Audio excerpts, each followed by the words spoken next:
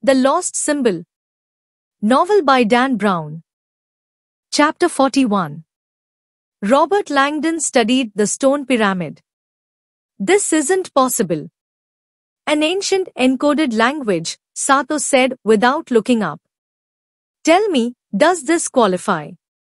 On the newly exposed face of the pyramid, a series of 16 characters was precisely engraved into the smooth stone. Beside Langdon, Anderson's mouth now gaped open, mirroring Langdon's own shock.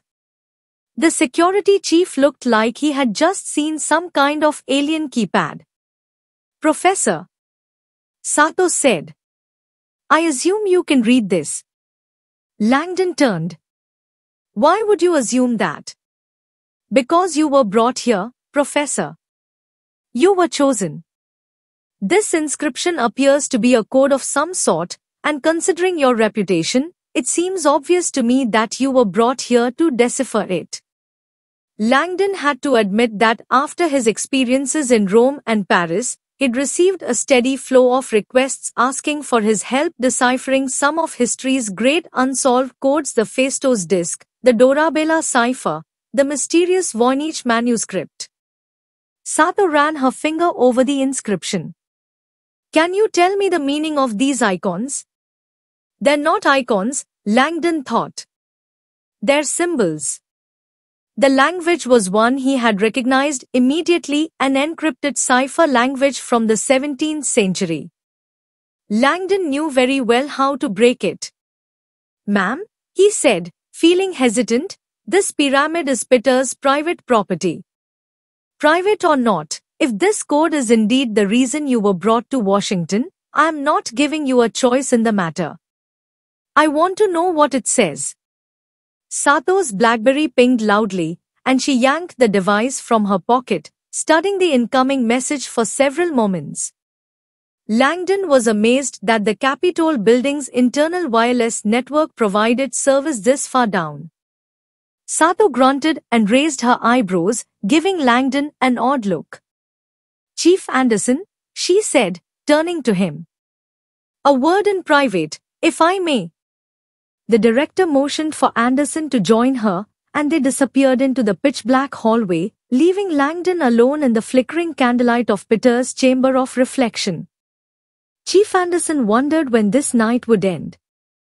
A severed hand in my rotunda, a death shrine in my basement? Bizarre engravings on a stone pyramid?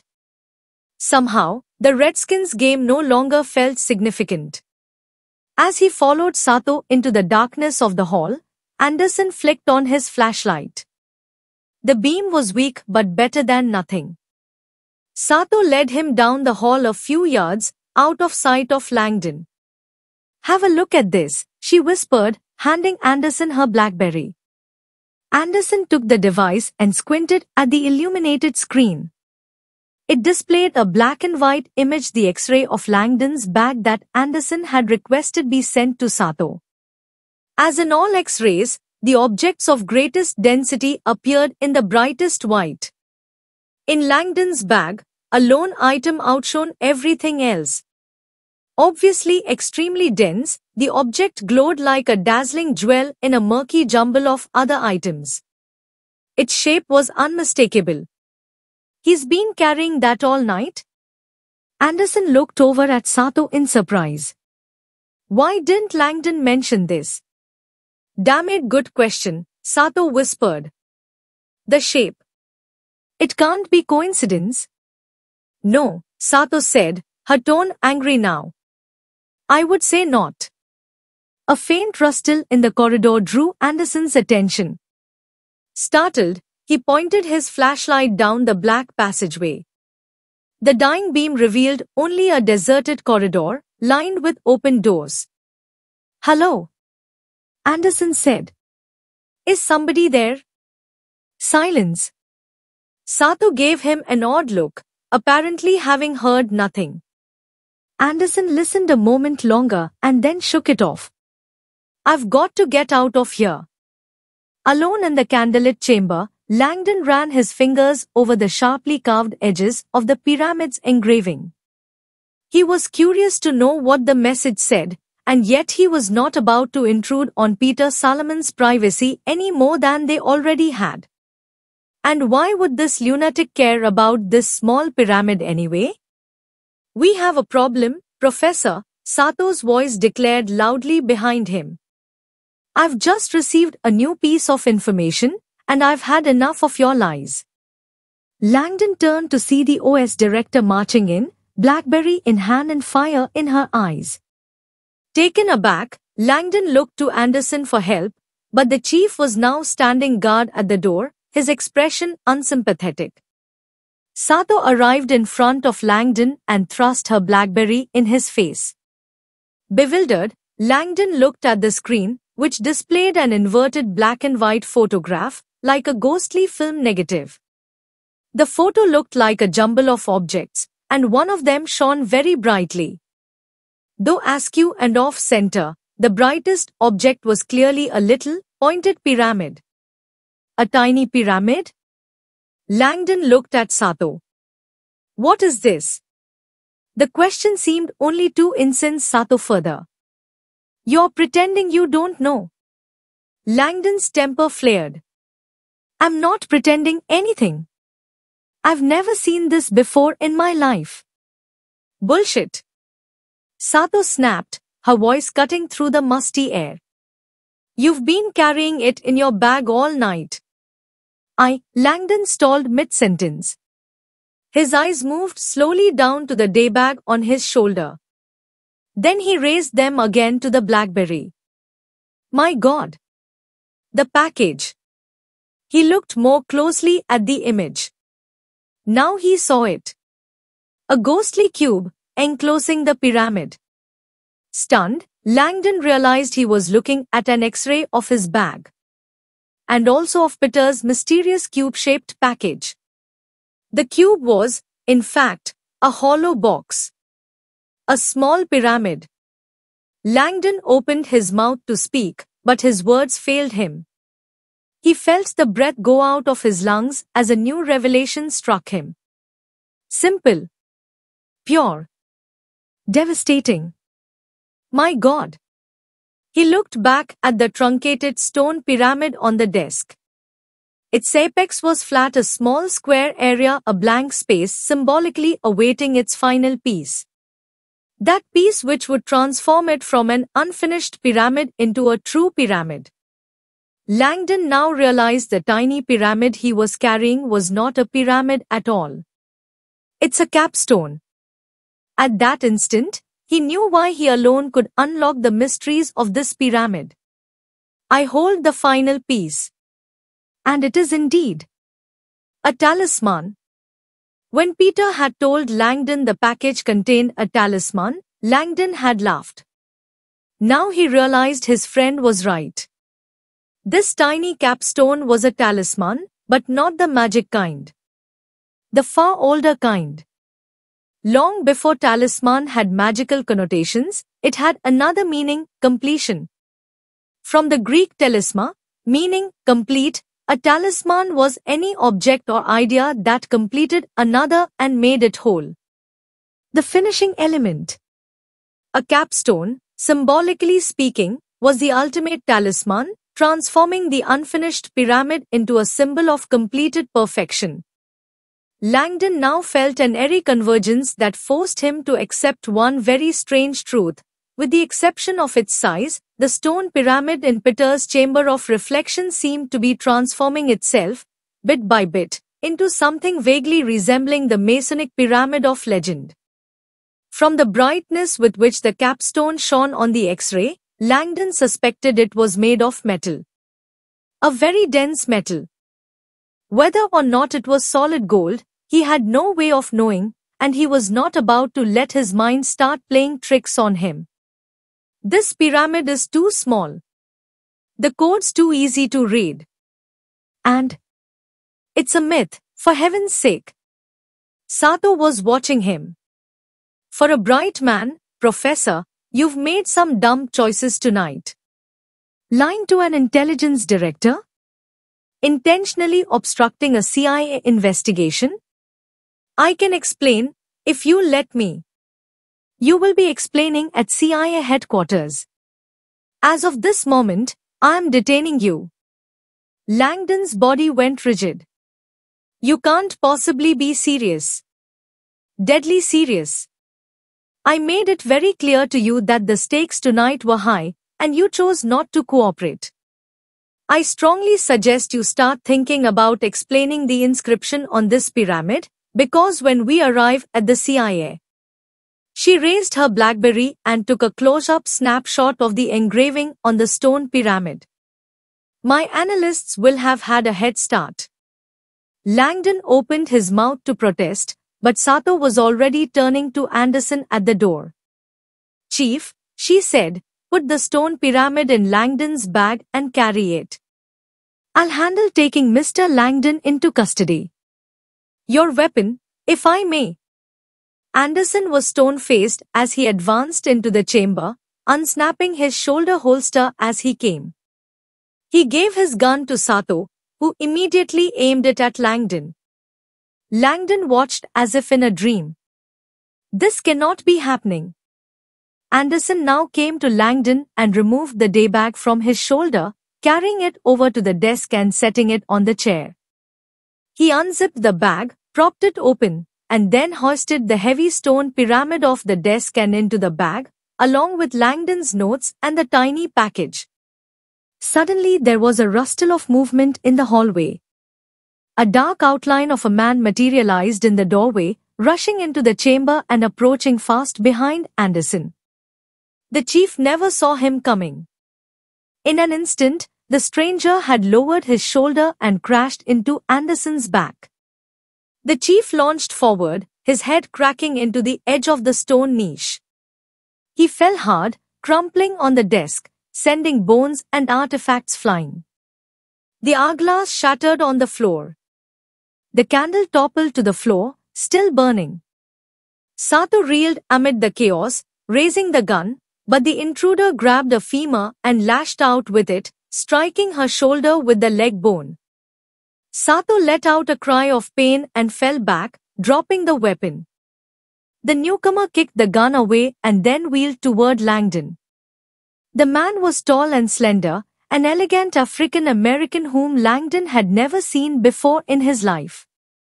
Grab the pyramid, the man commanded. Follow me. Chapter 42 The African American man leading Langdon through the Capitol's subterranean maze was clearly someone of power. Beyond knowing his way through all the side corridors and back rooms, the elegant stranger carried a key ring that seemed to unlock every door that blocked their way. Langdon followed, quickly running up an unfamiliar staircase. As they climbed, he felt the leather strap of his day bag cutting hard into his shoulder. The stone pyramid was so heavy that Langdon feared the bag's strap might break. The past few minutes defied all logic, and now Langdon found himself moving on instinct alone. His gut told him to trust this stranger.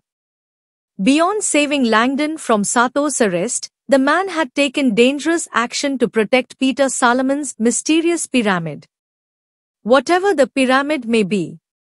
While his motivation remained a mystery, Langdon had glimpsed a telltale shimmer of gold on the man's hand a Masonic ring the double-headed phoenix and the number 33. This man and Peter Solomon were more than trusted friends. They were Masonic brothers of the highest degree.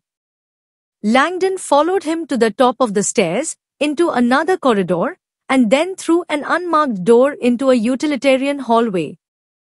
They ran past supply boxes and bags of garbage, veering off suddenly through a service door that deposited them in an utterly unexpected world a plush movie theater of some sort.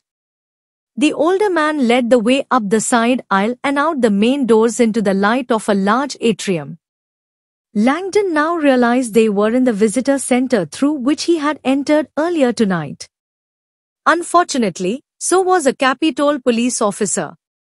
As they came face to face with the officer, all three men stopped, staring at one another. Langdon recognized the young Hispanic officer from the X-ray machine earlier tonight. Officer Nunez, the African-American man said. Not a word. Follow me. The guard looked uneasy but obeyed without question. Who is this guy? The three of them hurried toward the southeast corner of the visitor center, where they arrived at a small foyer and a set of heavy doors blocked with orange pylons. The doors were sealed with masking tape, apparently to keep the dust of whatever was happening beyond out of the visitor center. The man reached up and peeled off the tape on the door. Then he flipped through his keyring as he spoke to the guard. Our friend Chief Anderson is in the sub-basement. He may be injured. You'll want to check on him. Yes, sir. Nunez looked as baffled as he did alarmed. Most important, you did not see us. The man found a key, took it off the key ring, and used it to turn the heavy deadbolt. He pulled open the steel door and tossed the key to the guard. Lock this door behind us. Put the tape back on as best as you can. Pocket the key and say nothing. To anyone. Including the chief. Is that clear, Officer Nunez? The guard eyed the key as if he'd just been entrusted with a precious gem. It is, sir. The man hurried through the door, and Langdon followed. The guard locked the heavy bolt behind them, and Langdon could hear him reapplying the masking tape. Professor Langdon, the man said as they strode briskly down a modern-looking corridor that was obviously under construction. My name is Warren Bellamy. Peter Solomon is a dear friend of mine. Langdon shot a startled glance at the stately man. You're Warren Bellamy? Langdon had never met the architect of the Capitol, but he certainly knew the man's name. Peter speaks very highly of you, Bellamy said, and I'm sorry we are meeting under these dreadful circumstances. Peter is in terrible trouble. His hand. I know. Bellamy sounded grim. That's not the half of it, I'm afraid. They reached the end of the lit section of corridor, and the passageway took an abrupt left. The remaining length of corridor, wherever it went, was pitch black. Hold on, Bellamy said, disappearing into a nearby electrical room from which a tangle of heavy-duty orange extension cords snaked out, running away from them into the darkness of the corridor. Langdon waited while Bellamy rooted around inside. The architect must have located the switch that sent power to the extension cords, because suddenly the route before them became illuminated. Langdon could only stare. Washington, D.C. like Rome was a city laced with secret passageways and underground tunnels. The passage before them now reminded Langdon of the Passetto Tunnel connecting the Vatican to Castel Sant'Angelo. Long, dark, narrow, Unlike the ancient Passetto, however, this passage was modern and not yet complete. It was a slender construction zone that was so long it seemed to narrow to nothing at its distant end. The only lighting was a string of intermittent construction bulbs that did little more than accentuate the tunnel's impossible length. Bellamy was already heading down the passage. Follow me. Watch your step. Langdon felt himself fall into step behind Bellamy, wondering where on earth this tunnel led. At that moment, Mal'akh stepped out of pod 3 and strode briskly down the deserted main corridor of the SMSC toward pod 5. He clutched Trish's keycard in his hand and quietly whispered, 0804. Something else was cycling through his mind as well. Mal'akh had just received an urgent message from the Capitol building. My contact has run into unforeseen difficulties. Even so, the news remained encouraging. Robert Langdon now possessed both the pyramid and the capstone. Despite the unexpected way in which it had happened, the crucial pieces were falling into place. It was almost as if destiny itself were guiding tonight's events, ensuring Mal'akh's victory. Chapter 43 Langdon hurried to keep pace with Warren Bellamy's brisk footsteps as they moved without a word down the long tunnel. So far, the architect of the Capitol appeared far more intent on putting distance between Sato and this stone pyramid than he did on explaining to Langdon what was going on. Langdon had a growing apprehension that there was far more going on than he could imagine. The CIA, the architect of the Capitol, two 33rd degree Masons, the shrill sound of Langdon's cell phone cut the air. He pulled his phone from his jacket. Uncertain, he answered. Hello. The voice that spoke was an airy, familiar whisper. Professor, I hear you had unexpected company. Langdon felt an icy chill. Where the hell is Peter? he demanded, his words reverberating in the enclosed tunnel. Beside him, Warren Bellamy glanced over, looking concerned and motioning for Langdon to keep walking. Don't worry, the voice said. As I told you, Peter is somewhere safe. You cut off his hand, for God's sake. He needs a doctor. He needs a priest, the man replied. But you can save him. If you do as I command, Peter will live. I give you my word. The word of a madman means nothing to me. Madman? Professor, surely you appreciate the reverence with which I have adhered to the ancient protocols tonight. The hand of the mysteries guided you to a portal the pyramid that promises to unveil ancient wisdom. I know you now possess it. You think this is the Masonic pyramid? Langdon demanded. It's a chunk of rock. There was silence on the other end of the line. Mr. Langdon, you're too smart to play dumb. You know very well what you've uncovered tonight. A stone pyramid hidden at the core of Washington, D.C. by a powerful mason. You're chasing a myth. Whatever Peter told you, he told you in fear. The legend of the Masonic pyramid is fiction. The Masons never built any pyramid to protect secret wisdom. And even if they did, this pyramid is far too small to be what you think it is. The man chuckled. I see Peter has told you very little. Nonetheless, Mr. Langdon, whether or not you choose to accept what it is you now possess, you will do as I say. I am well aware that the pyramid you are carrying has an encrypted engraving. You will decipher that engraving for me. Then, and only then, will I return Peter Solomon to you. Whatever you believe this engraving reveals, Langdon said, it won't be the ancient mysteries. Of course not, he replied. The mysteries are far too vast to be written on the side of a little stone pyramid. The response caught Langdon off guard. But if this engraving is not the ancient mysteries, then this pyramid is not the Masonic pyramid. Legend clearly states the Masonic pyramid was constructed to protect the ancient mysteries. The man's tone was condescending now. Mr. Langdon, the Masonic pyramid was constructed to preserve the ancient mysteries, but with a twist you've apparently not yet grasped. Did Peter never tell you? The power of the Masonic pyramid is not that it reveals the mysteries themselves, but rather that it reveals the secret location where the mysteries are buried. Langdon did a double take.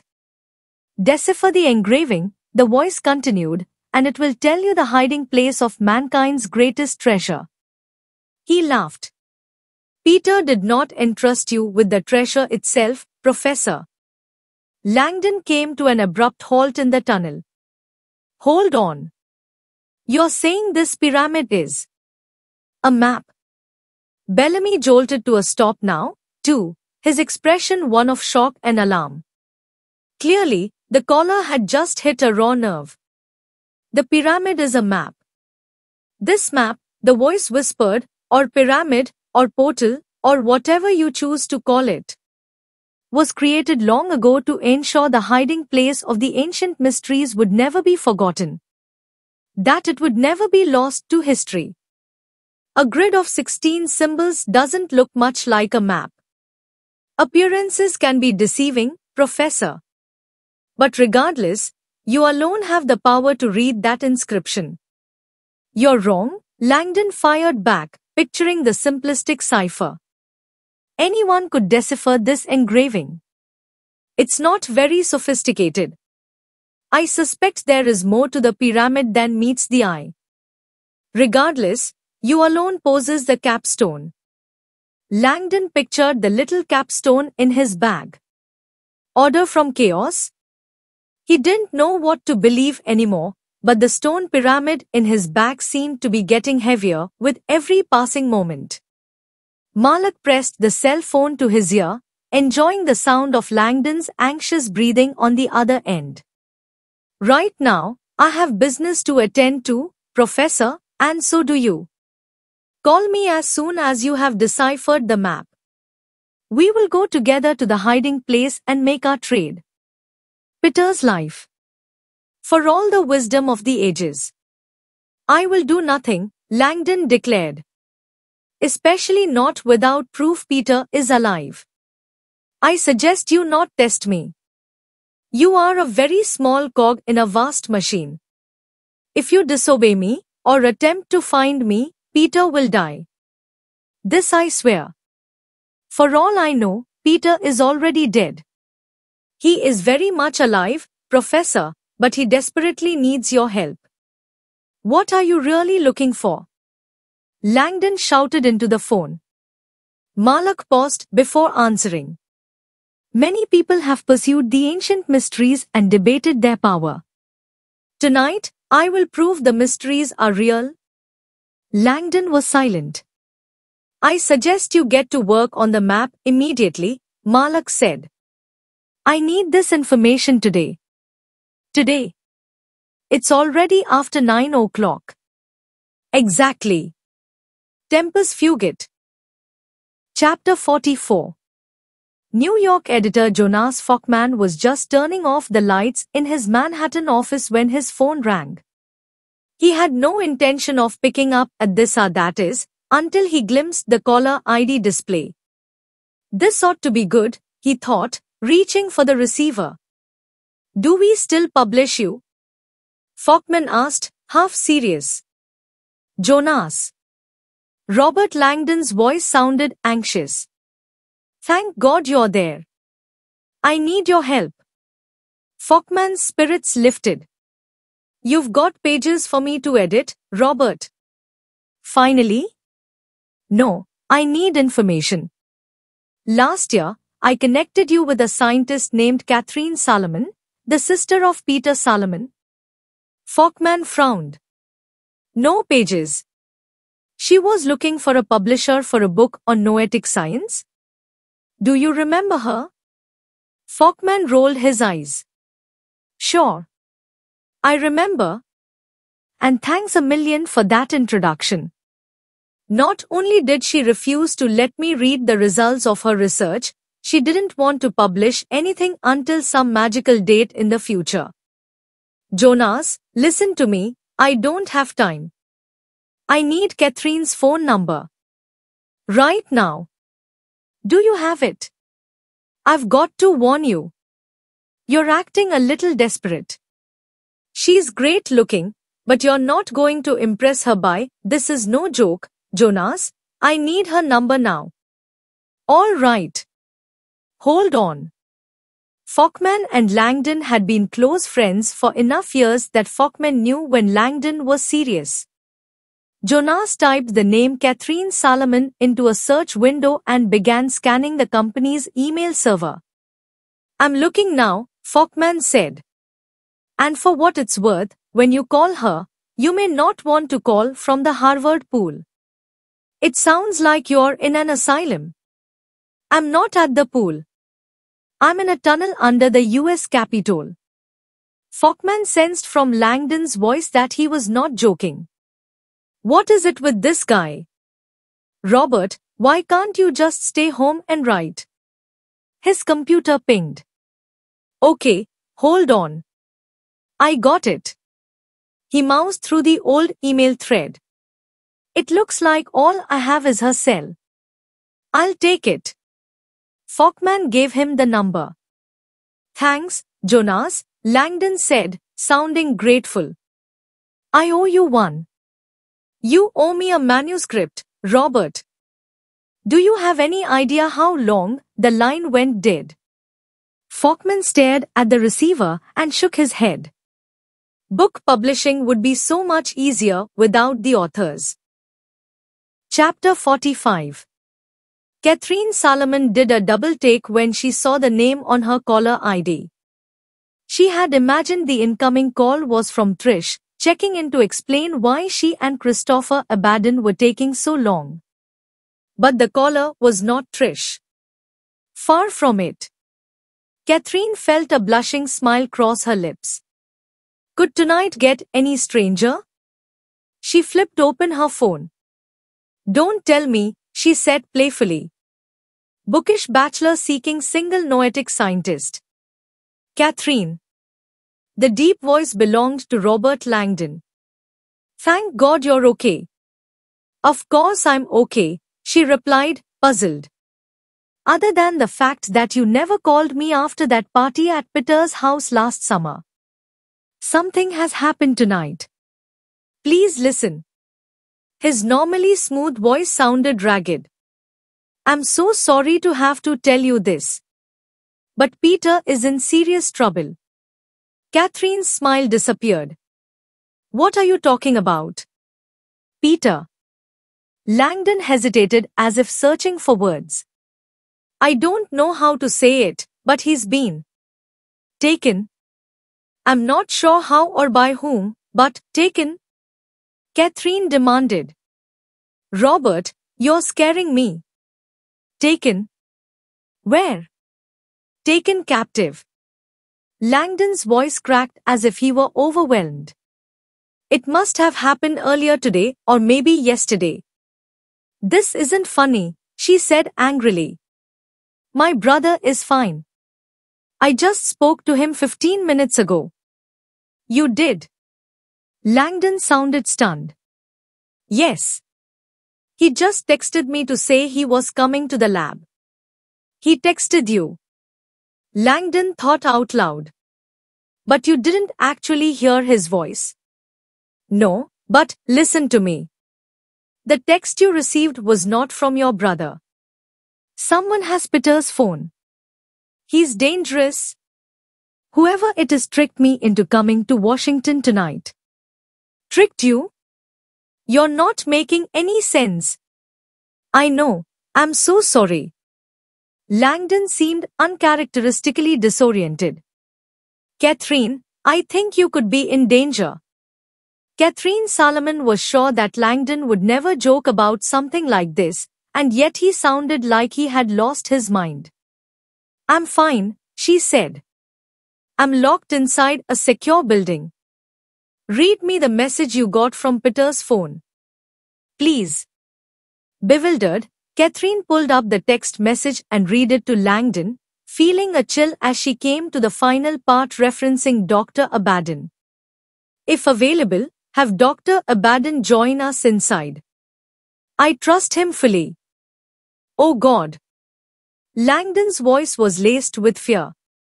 Did you invite this man inside? Yes. My assistant just went out to the lobby to get him.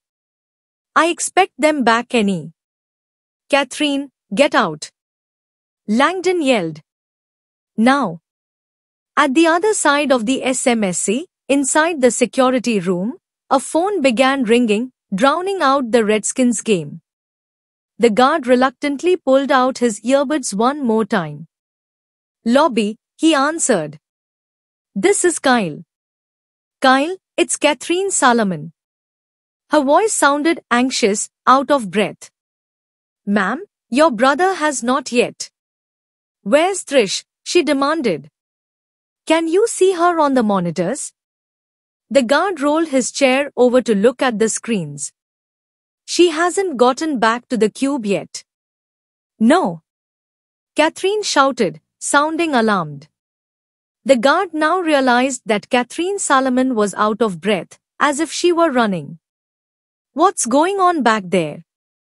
The guard quickly worked the video joystick, skimming through frames of digital video at rapid speed. Okay, Hold on, scrolling through playback. I've got Trish with your guest leaving the lobby. They move down the street. Fast forwarding. Okay, they're going into wet pod. Trish uses her keycard to unlock the door. Both of them step into wet pod. Fast forwarding. Okay, here they are coming out of wet pod just a minute ago. Heading down. He cocked his head, slowing the playback. Wait a minute. That's odd. What? The gentleman came out of wet pod alone. Trish stayed inside. Yes, it looks that way. I'm watching your guest now. He's in the hall on his own. Where is Trish? Catherine asked more frantically. I don't see her on the video feed, he replied, an edge of anxiety creeping into his voice. He looked back at the screen and noticed that the man's jacket sleeves appeared to be wet. All the way up to his elbows. What in the world did he do in wet pod? The guard watched as the man began to move purposefully down the main hallway toward pod 5, clutching in his hand what looked like a key card. The guard felt the hair on the back of his neck stand on end. Miss Solomon, we've got a serious problem. Tonight was a night of firsts for Catherine Solomon. In two years, she had never used her cell phone inside the void. Nor had she ever crossed the void at a dead run. At the moment, however, Catherine had a cell phone pressed to her ear while she was dashing blindly along the endless length of carpet. Each time she felt a foot stray from the carpet, she corrected back to center, racing on through the sheer darkness. Where is he now? Catherine asked the guard, breathless. Checking now, the guard replied. Fast forwarding. Okay, here he is walking down the hall. Moving toward pod 5. Catherine ran harder, hoping to reach the exit before she got trapped back here. How long until he gets to the pod 5 entrance?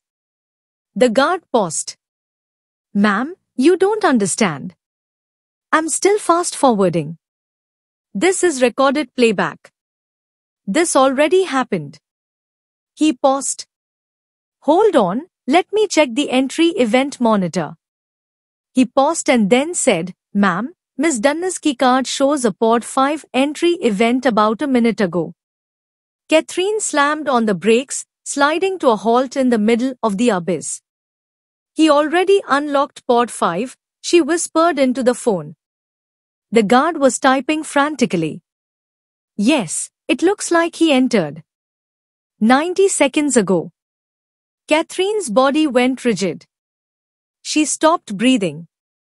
The darkness felt suddenly alive all around her. He's in here with me. In an instant, Catherine realized that the only light in the entire space was coming from her cell phone, illuminating the side of her face. Send help, she whispered to the guard. And get to wet pod to help Trish. Then she quietly closed her phone, extinguishing the light. Absolute darkness settled around her. She stood stock still and breathed as quietly as possible. After a few seconds, the pungent scent of ethanol wafted out of the darkness in front of her. The smell got stronger. She could sense a presence, only a few feet in front of her on the carpet. In the silence, the pounding of Catherine's heart seemed loud enough to give her away. Silently, she stepped out of her shoes an inch to her left, sidestepping off the carpet. The cement felt cold under her feet. She took one more step to clear the carpet. One of her toes cracked. It sounded like a gunshot in the stillness. Only a few yards away, a rustle of clothing suddenly came at her out of the darkness. Catherine bolted an instant too late and a powerful arm snagged her, groping in the darkness, hands violently attempting to gain purchase. She spun away as a vice-leg grip caught her lab coat, yanking her backward, reeling her in. Catherine threw her arms backward, slithering out of her lab coat and slipping free. Suddenly, with no idea anymore which way was out, Catherine Solomon found herself dashing, dead blind, across an endless black abyss.